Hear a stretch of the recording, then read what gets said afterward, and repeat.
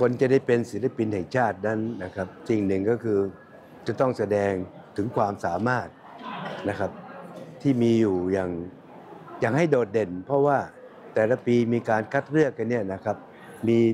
พี่น้องที่มีความเป็นศิลปินในสาขาต่างๆจำนวนมาก เพราะฉะนั้นคนได้เป็นจึงเป็นยอดยอดคนที่มีความเก่งกล้าสามารถในสาขาเหล่านั้นนะครับ เพราะฉะนั้นจึงเป็นบุคคลซึ่งเราให้การยกย่องสรรเสริญ นะครับเป็นบุคคลตัวอย่างในการสร้างสรรค์ผลงาน ที่สำคัญคือจะต่อยอดไปให้เด็กๆนะครับรุ่นหลังๆ ที่สนใจนี่ได้ศึกษาค้นคว้า เอาเยี่ยงเอาอย่างนะครับในการทำความดีให้กับประเทศชาติต่อไปนะครับอาจารย์ต่อประเด็นนี้ครับ ขอนำเรียนว่าด้วย ภายใต้การนำของท่านรัฐมนตรีเสริมศักดิ์พงพาณิชย์นะครับท่านรัฐมนตรีว่าการกระทรวงวัฒนธรรมนะครับทางกรมส่งเสริมวัฒนธรรมเนี่ยท่านมอบหมายให้ดูแลศิลปินแห่งชาตินะครับนอกเหนือจากในเรื่องของการที่จะคัดเลือกในแต่ละปีแล้วนะครับเมื่อได้รับการคัดเลือกแล้วเนี่ยในเรื่องของสวัสดิการต่างๆนะครับท่านก็ให้ดูแลให้เต็มที่นะครับ เช่นกรณีในเรื่องของ ค่าตอบแทนประจำเดือนนะครับ หรือว่าในสิทธิของการรักษาพยาบาลนะครับ ซึ่งเทียบเท่ากับสิทธิของข้าราชการนะครับ เนื่องจากว่าเราก็เป็นที่ทราบกันดีว่าท่านศิลปินแห่งชาติหลาย ๆ ท่านเนี่ยค่อนข้างที่จะสูงวัยนะครับ ดังนั้นเนี่ยก็จะเป็นเรื่องของการรักษาพยาบาลนะครับ เราก็ดูแลอย่างเต็มที่ภายใต้นโยบายของท่านนะครับ ส่วนอีกเรื่องหนึ่งนะครับ ได้มีการเยี่ยมเยียนท่านในช่วงสภาวะปกตินะครับ ก็มีโครงการทั้ง การเยี่ยมเยียนศิลปินแห่งชาติ เนื่องในโอวาระโอกาสต่างๆนะครับหรือแม้กระทั่งในเรื่องของการเปิดบ้านศิลปินแห่งชาติ ให้ท่านได้ถ่ายทอดผลงานลงสู่เด็กและเยาวชนนะครับหรือเหมือนอย่างที่ท่านอาจารย์กมลทัศนัญชลีได้พูดถึงเมื่อเช้านะครับ เรามีโครงการศิลปินแห่งชาติสัญจรนะครับที่จะไปสร้างสรรค์ผลงาน แล้วก็ถ่ายทอดผลงานลงสู่ นักเรียนนักศึกษาหรือว่าประชาชนทั่วไปนะครับ อันนี้กรณีปกตินะครับ แล้วก็นอกเหนือจากนั้นเนี่ยในกรณีที่เกิดเหตุ อุทกภัย วาตภัย หรือภัยพิบัติต่างๆนะครับ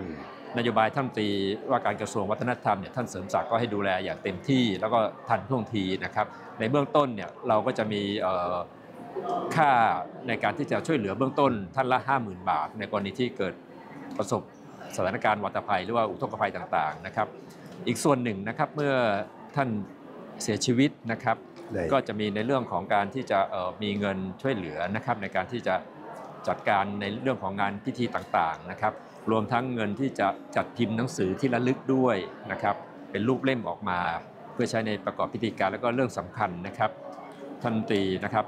กำกับนะครับ แล้วก็ท่านก็มอบหมายในเรื่องของที่จะมีการกราบบังคมทูลเชิญนะครับ เสด็จพระราชดำเนินในการในการถวายพระราชทานเพลิงศพศิลปินแห่งชาติท่านต่างๆ ตามที่ได้ปฏิบัติมาอย่างต่อเนื่องครับ อันนี้ก็เป็น สวัสดิการ แล้วก็ในเรื่องของการดูแลศิลปินแห่งชาติตามที่ท่านสมศักดิ์นะเสริมศักดิ์นะครับขอโทษครับท่านเสริมศักดิ์ได้กรุณามอบหมายให้กรมส่งเสริมทำปฏิบัติเรื่องนี้อย่างเต็มศักยภาพครับท่านรัฐมนตรีคครัรับสำหรับการยกย่องศิลปินแห่งชาติยังจัดต่อเนื่องอยู่คใช่งไหมครับครับจะต้องมีทุกปีนะครับ ปีนี้เราก็เพิ่งตั้งกรรมการชุดใหม่นะครับใช่ครับแล้วก็คงจะเริ่มในการคัดเลือกนะครับ ผมคิดว่าเอ่อ การสรรหากรรมการก็ดีนะครับ เราดูถึงผู้ทรงคุณวุฒินะครับ และผู้ที่จะมาให้ดูแลอย่างเป็นธรรมที่สุดนะครับ ทั้งนี้เพราะเราอยากได้ศิลปินที่มีความสามารถ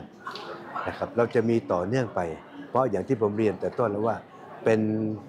บุคคลที่สำคัญของของชาตินะครับ ที่จะเป็นเบ้าหลอมลูกๆหลานๆให้เดินรอยตามด้านนี้นะครับ ท่านอธิบดีครับสำหรับขั้นตอนการดำเนินงานในปีต่อไป ตอนนี้ถึงไหนอะไรยังไงแล้วครับครับเอ่อเนื่องจากว่าศิลปินแห่งชาติเนี่ยในช่วง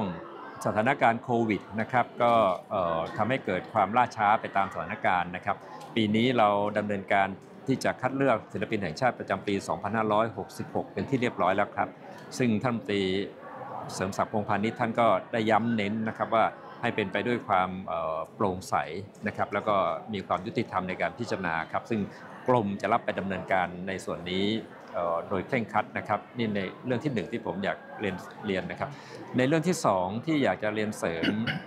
อีกนิดหนึ่งนะครับในเรื่องของสวัสดิการของศิลปินแห่งชาตินะครับ เราดูแลอยู่ภายใต้กองกองทุนส่งเสริมงานวัฒนธรรมนะครับ ซึ่งปัจจุบันนี้เนี่ยได้รับความกรุณาจากคุณนวลพันธ์ล่ำซำนะครับ ซึ่งท่าน